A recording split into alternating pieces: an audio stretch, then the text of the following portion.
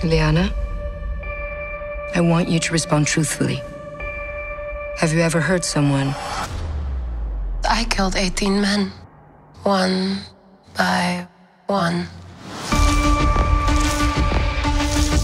Illyana, you could say she's abrasive. This isn't the hospital. It's a cage. And now you're trapped in it forever, just like us. She comes from a very troubled childhood. No, I buried this.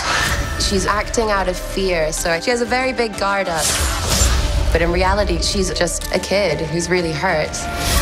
Ultimately, the movie is about understanding that different people being around you can actually bring out the person that you're supposed to be. Are you crazy?